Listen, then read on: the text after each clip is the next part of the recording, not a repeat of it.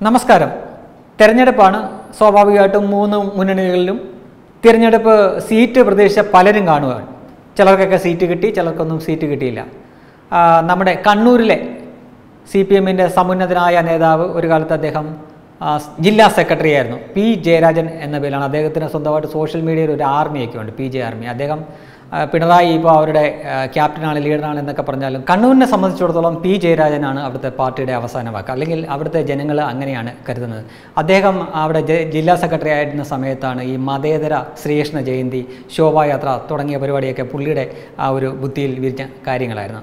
അപ്പോൾ പറഞ്ഞു വരുന്ന അതൊന്നുമല്ല അദ്ദേഹത്തിന് സ്വാഭാവികമായിട്ടും അദ്ദേഹം ഒരു നിയമസഭ സീറ്റ് പ്രതീക്ഷിച്ചിരുന്നു. അദ്ദേഹത്തിന് സീറ്റ് ലഭിച്ചില്ല പിണറായി ഒതുക്കിയതാണെന്നൊക്കെ പറയുന്നു. ജില്ലാ സെക്രട്ടറി ആയിരുന്ന അദ്ദേഹത്തിന് ജില്ലാ സെക്രട്ടറി സ്ഥാനത്ത് നിന്ന് മാറ്റി വടകര ലോകസഭയിലേക്ക് മത്സരിപ്പിച്ചു. എന്നിട്ട് പാർട്ടി തന്നെ തോപ്പിച്ചു എന്ന ഒരു ഒരു തോന്നൽ അദ്ദേഹത്തിന് ഉണ്ടെന്ന് തോന്നുന്നു. എന്തായാലും അദ്ദേഹം ഇപ്പോൾ നിരന്തരമായി ചാനലുകളൊക്കെ വന്നിരുന്നുണ്ട്. സി പി എമ്മിന്റെ പ്രതിനിധിയായിട്ട് സംസാരിക്കുന്നുണ്ട്. കഴിഞ്ഞ ദിവസം നമ്മുടെ വിവാദ നായകനായ സാന്തി സന്ദീപ് വാചസ്പതി നമ്മുടെ അരുണുമായിട്ട് ട്വന്റി ഫോറിലെ അരുണും സന്ദീപ് വചസ്പതിയും ഒപ്പം പി ജയരാജനും ഒക്കെ ചേർന്ന ഒരു ചർച്ചയുണ്ടായിരുന്നു. ഈ ചർച്ചയിൽ പി ജയരാജൻ കേരള സർക്കാരിന്റെ നേട്ടങ്ങളായിട്ട് കുറേ കാര്യങ്ങൾ കുറേ വികസന പദ്ധതികൾ ഇങ്ങനെ അക്കമിട്ട് എണ്ണി എണ്ണി ഇങ്ങനെ പറഞ്ഞപ്പോൾ സന്ദീപ് വചസ്പതി പറഞ്ഞു ഈ പദ്ധതികളെല്ലാം ഈ പി ജയരാജൻ പറഞ്ഞ പദ്ധതികളെല്ലാം കേന്ദ്ര പദ്ധതികളാണെന്ന് പറഞ്ഞപ്പോൾ പി ജയരാജൻ പറയുകയുണ്ടായി ഇരുപത്തിയഞ്ച് ശതമാനം അതിൽ കേരള ഗവൺമെന്റിന്റെ പങ്കാളിത്തമുള്ളതാണ് ഇവയെല്ലാം എന്ന് പറഞ്ഞു.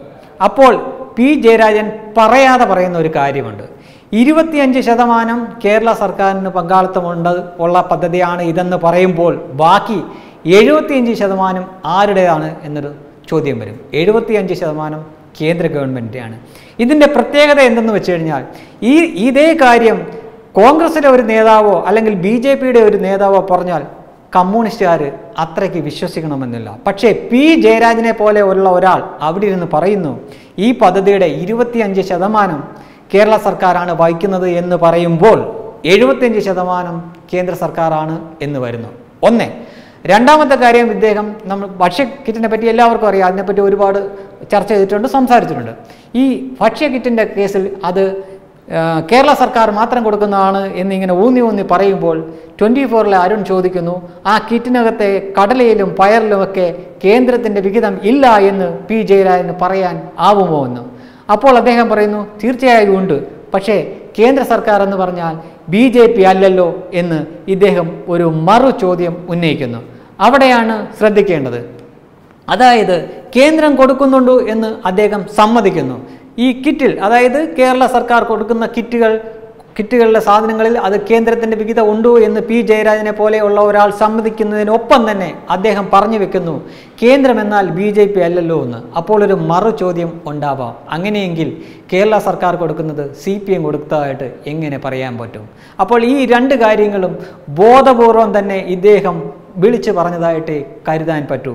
പിണറായി കെട്ടുകൊടുത്ത ഒരു എട്ടിന്റെ പണിയല്ലേ? അതായത് അവർ ക്യാപ്സൂളുകളൊക്കെ വിതറി ഈ കാര്യങ്ങളെല്ലാം നടക്കുന്നത് പിണറായിയുടെ കഴിവുകൊണ്ടാണെന്നും അതിനു മുമ്പുള്ള വി എസ് അച്യുതാനന്ദന്റെ സർക്കാരോ അല്ലെ നയനാറിന്റെ സർക്കാരോ ഒന്നും കൊള്ളില്ലെന്നും പിണറായി വന്നപ്പോഴാണ് ഇത്തരം കാര്യങ്ങളൊക്കെ നടക്കുന്നതും നടക്കുന്നതെന്നും പിണറായി ഒരു മഹാസംഭവമാണെന്നൊക്കെ പറഞ്ഞ് കൊട്ടിഘോഷിച്ചുകൊണ്ട് വരുമ്പോൾ പി ജയരാജനെ പോലെയുള്ള ഒരാൾ ചാനലിൽ നിന്ന് പറയുന്നു ഈ ഇത്ര ഇത്ര ആദ്യം പറയുന്നു ഇത്ര ഇത്ര കാര്യങ്ങളൊക്കെ ഇവിടെ നടന്നിട്ടുണ്ട് എന്ന് പറയുന്നു. അത് കേരള സർക്കാരിന് അല്ലെങ്കിൽ പിണറായി വിജയനാണ് എന്ന് പറയുന്നു. ഒപ്പം അത് കേന്ദ്ര പദ്ധതി അല്ലേ എന്ന് ബി ജെ പിയുടെ പ്രതിനിധി ചോദിക്കുമ്പോൾ പി ജയരാജൻ പറയുന്നത് ഇരുപത്തിയഞ്ച് ശതമാനം കേരള സംസ്ഥാന സർക്കാരിന് പങ്കാളിത്തമുണ്ടാണ് അപ്പോൾ പറയാതെ പറയുന്ന കാര്യം എഴുപത്തിയഞ്ച് ശതമാനം കേന്ദ്രത്തിന്റെയാണെന്നാണ്.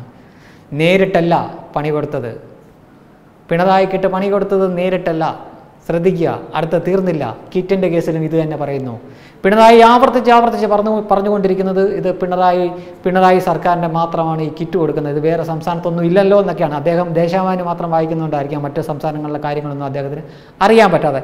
ഇങ്ങനെ തന്റെ അണികളെ മണ്ടന്മാരായ അണികളെയൊക്കെ പറഞ്ഞ് വിശ്വസിപ്പിക്കാൻ വേണ്ടിയിട്ട് ഇത് ഞാൻ തരുന്നതാണ് ഞാൻ തരുന്നതാണ് എന്ന് പറഞ്ഞുകൊണ്ടിരിക്കുമ്പോൾ പി ജയരാനെ പോലെ ഉള്ള ഒരാൾ ചാനലുകളിൽ ഒരുപാട് ആളുകൾ കാണുന്ന ഒരു ചാനലിൽ ചാനലിൽ വന്നിരുന്നു പറയുന്നു.